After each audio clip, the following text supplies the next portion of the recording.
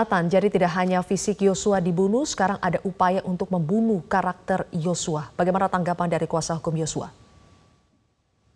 Ya, saya hanya bisa geleng-geleng dan sangat menyesalkan sekali apa yang disampaikan. Dan ini pada kesempatan ini kami ingin menyampaikan, saya mewakili tim kuasa hukum dan keluarga, kami mengutuk keras jika ada kesaksian daripada saksi-saksi yang tidak berkata jujur dan justru menimbulkan fitnah yang sangat keji kepada seseorang yang telah tiada dan tidak bisa membela dirinya. Ini menurut saya sudah sudah dibunuh nyawanya dihabisi sekarang karakternya dibunuh. Ini betul-betul keterlaluan dan apa yang disampaikan oleh saksi-saksi tersebut bisa saya pastikan itu sangat bertolak belakang dengan kenyataan yang sebenarnya, Mbak.